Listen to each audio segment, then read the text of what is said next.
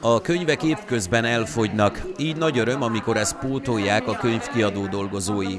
Nagyon szép mesekönyveket szoktunk kapni ilyenkor, nagyobbak pedig ilyen természettudományos könyveket, és bizony ennek nagyon örülnek a gyerekek, ugye amikor már egy kicsit jobban vannak és vágynak ki az ágyból, akkor már szívesen lefoglalják magukat ezzel.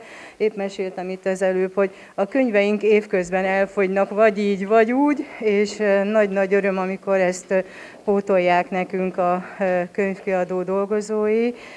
Nagy öröm számunkra, hogy nem csak a mobiltelefonos meséket olvassák a gyerekek, vagy nézik a gyerekek, hanem bizony anyukák kezükbe veszik a könyvet, és olvasnak a gyerekeknek.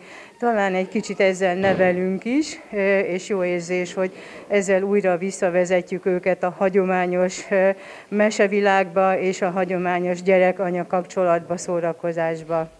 A közel 50 könyvet Kisné Bodnár Erika vevőszolgálati vezető adta át. Természetesen édesanyja lévén én is azt gondolom, hogy hogy igenis fenn kell tartani ezt, hogy könyveket adjunk a gyerekek kezébe, hiszen, hiszen ezáltal a gyógyulást is segíthetjük, és eljuthatnak tényleg olyan helyekre, ahol, ahol itt, itt nem adatik ez meg, és segíti az ő gyógyulásukat. Rengeteg mesekönyv, kifestő, ismeretterjesztő album van és nagyon szépen köszönjük valamennyi dolgozónak a munkáját, áldozatos és lelkes munkáját. Köszönjük szépen!